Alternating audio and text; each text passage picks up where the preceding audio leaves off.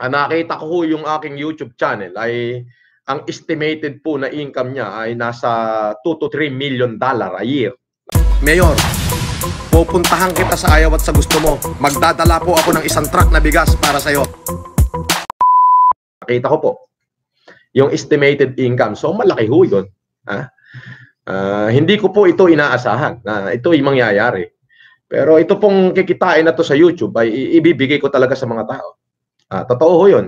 Kaya sabihin nyo sa mga kaibigan nyo, subscribe na sa aking channel at ah, para sa inyo, yung inyo po kasing subscription sa akin ay ah, ano yan eh, ah, yan ang ambag nyo ha, sa aking ginagawa ngayon. Ayan. Ika nga eh, sa maliit na papamaraanan, eh, malay, binigyan nyo ako ng like, uh, sinubscribe nyo ako, pak, ikinalat nyo to. Eh, yun naman po yung aking sinasabi na ah, yun yung inyong ah, yun yung inyong tulong sa akin. Yan. Hindi ko kailangan na magpadala kayo ng donation sa akin. Hindi. The more na mas marami ako natutulungan, the more na mas marami kayong yung subscriber at maraming likes, aba, mas marami ho akong matutulungan. yan. Pandagdag ho yan, ha? anyway. Um, gusto ko lamang pong ano, ah, meron lang ho akong gustong batikusin. Ah, wag po kayo mag-alala, ang inyong lingkod ay nananatiling matatag at patuloy ako nagmamahal sa inyo. Ah, meron lang akong gustong batikusin dito uh, in regards dun sa isang ah, isang ah, organization na aking kinabibilangan. Eh, hindi ko ho kailangan banggitin ang kanyang pangalan dahil ah, ano ho yan, baka sumikat. Papangalanan lang ho natin siyang igme. Okay. Papangalanan na lang natin yung igme. O kaya Papay de Sailorman. Nako! Napakakupal ho ng taong yan. Ah, bukod sa ngayong COVID ay nagtatago na hindi man lang matulungan ng kanyang mga kababayan, ay balita ko ay napakarami hong bisyo niya. At ang ginagawa ho niyan, yung kanyang organisasyon, na organisasyon ko rin na kinabibilangan, eh, eh, ginagamit niya yung mga membro nito para ho magkapera sa mga politiko. Oo. Eh, hindi ko ho papangalanan yung politiko at wala naman hong kasalanan yon. Natural yung politiko ay ah, sumapi sa kanya dahil marami siyang ah, membro na ipinangangalandakan. Pero ang taong ito ho, dapat ho dito ay binibigti. Oo, masyado hong masama ang ganitong klaseng tao. Ika nga ho sa Biblia, ah, ah, ah, dapat sana ang gumawa ng anumang pagkakasundo ay pararangalan ng Panginoon. Pero ang ginagawa ho ng taong ito ay masahol pa sa dilang masahol. Hindi ko ibibigay yung kanyang tunay na pangalan dahil baka sumikat ho eh. Ah, ang pangalan lang ho niya ay alias Igme at alias Papay de Sailorman. Eh buti pa ho si Papay sinesave yung olive eh. Eto ho, hindi ho. Eh binebenta nito yung dugo ng kanyang mga kasamahan dahil nga ho medyo nakakatanda siya, eh binebenta niya yung kanyang dugo. Dugo na nung kanyang mga kasamahan para pagkaperahan. Walang yaho itong tao na to. Yan, yung alias Papay Igme. Anyway, binabati ko yung aking kaibigan ha. Ma- Magaling na tao to, si Kapitan Joey Suarez ng Barangay Nicolasa Birata. Ha? General Mariano Alvarez Cavite. Ito hinakasama ko nung panahon ng Undoy. Ah, itong si Cap Joey. Eh talaga naman nung inaabot kami ng madaling araw sa pagtulong sa tao, ah, dun sa mga biktima ng Undoy. Ah, hindi pa ho ito kapitan noon.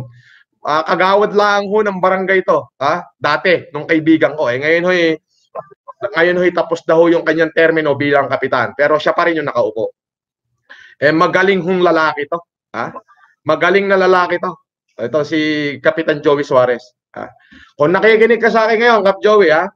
Ah, mabuhay ka. Anyway, yung sinasabi ko na bibigyan ko lamang una isang oras na pagsasalita, ay isang minutong pagsasalita, itong ah, alias Papay at alias Igme. Ang ginagawa ho nitong si alias Papay at alias Igme, pupunta ho sa lahat ng politiko, lalo na pag malapit na eleksyon. Dadalhin niya ho yung yung ah, mga mga member ng mga ng aming organization, yung ah, Alpha Kappa, at ipagbibili ho niya ito. Ah, doon sa mga politiko. Eh, balita ko, naging barangay kagawad yata ito. Pero sabi ko nga, paano nanalo to yung hindot na ito? Eh, talagang napakawalang yaho nito. Eh panahon pa ho ng ano, eh panahon pa ho ng 2009. Ako ho ay tumulong na sa parting Cavite, ito ho'y pinagkakaperahan pa niya yung aming mga kabrad. Kaya ako ho'y umalis dyan sa uh, dyan sa Cavite at hindi parang nahiya ho tuloy ako sa aking organisasyon. Parang sabi ko, parang hindi yata maganda sumapi sa ganitong organisasyon kasi puro pera-pera pinag-uusapan. Ha? Para doon sa alias Papay, magbago ka na, Brad. Ha? Walang hiya ka, magbago ka. Kung si Judas, uh, kung si Barabas, uh, si Judas, si Hestas, uh, baka napapabilang ka doon. Uh, anyway, tapos na ho yung usapan niya. Sinabi ko lang ho yung alias Igmi na yan ay talagang napakawalang hiya ho niya. Uh, hindi ko babanggitin yung tunay na pangalan, alias Papay at alias Igme. Uh, walang hiya ho yan. Huwag ho kayong maniniwala dyan. Uh, abnormal ho yan eh uh, ano, lahat ng klase ng bisyo na andyan. Tingnan niyo ho yung mukha, mukhang hindi na ho mapagkakatiwalaan. At wala ho kayong makikita sa record niyan na gumawa ng mabuti sa tao yan. Hindi ko alam kung bakit buhay pa yan. You know, anyway, tapos na ho dyan. Uh, ngayon po, at uh, may natanggap po ako sulat dito. Ito po ay uh, hindi ko alam kung paano nakarating sa akin, pero ito po ay residence daw po ng Pandibulacan, Mapulang Lupa. Grabe naman. 1,433 household. Personal hong sulat ito, uh, nakalagay dito is pagkakaisa ng mamamayang Pilipino, Pandibulacan. ito pong, hindi po ako mangangako dito sa mga tiga Pandibulacan. Talaga naman hong firmado ho nila. Dalawa, andyan ho lahat ng firma, kung mga residente. Sino nagbigay sa nito? Sa baba. Se- security guard sa baba. Ah, uh, sino ang contact person dito kaya? Ah, ito may telephone number. Sige, sige, sige. Tingnan mo, i-check mo mabuti to ha. Ako muna pa yung magre-report. Kahapon po ang report ko ay yung pong uh, pakikalat niyo po itong ating video at ng uh, the more the merrier eka nga. Pag maraming subscriber, the merrier. Please uh, stay tuned, ha? stay tuned to me. So kahapon po, uh, yung buong maghapon, ang accomplishment ko po ay mahigit 1,300 pamilya ha? sa buong Cagayan, sa, sa buong 3rd district ang nabigyan po natin ng tigli 5 kilong bigas. 1,000 at 300 pamilya. Sa, te, sa ikatlong distrito ng uh, Tugigaraw, ah, ng ng Cagayan. Ayan po ha, ulitin ko po. Isang libo at tatlong daang pamilya ang nabigyan po natin ng tigli limang kilo sa pangunguna ng provincial board member na si Perla Tumaliwan. Ah, eka nga, alagang Perla. Ha? So siya po ang pinadalang ko ng bigas, si Perla.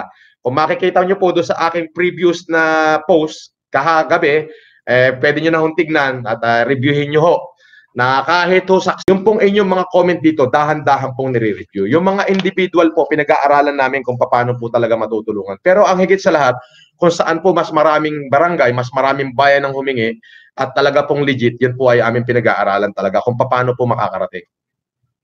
Gustuhin ko man ho na gustuhin ko man na all myself is uh, sumama sa track ay hindi ko ho magawa gawa ng uh, gawa ng uh, ako po ay gust- sumusunod sa enhanced quarantine program. Marami pong mayayaman taong gusto talaga ako ipin down. Wala lang ho talaga silang makitang kamalian sa aking ginagawa. Ay ano, so hindi ko alam, hindi sila papayag kung ano yung kung ano yung aking pinaggagawa. Syempre, talagang gusto nila ako idan. Pero wala po tayong problema diyan.